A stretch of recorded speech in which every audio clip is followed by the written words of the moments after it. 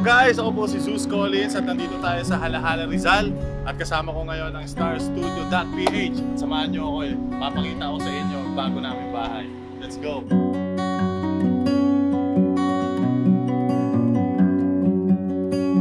Let's go!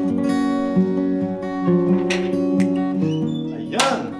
Ayan guys, nandito po tayo ngayon sa sa aming bahay. Ito, dati dito kami natutulog. Halos sa lapag lang, sa hapon namin natutulog. Hindi talaga siya sementado, mayroong mga puti, kaya minsan nalulungkot kami pagka umuulan.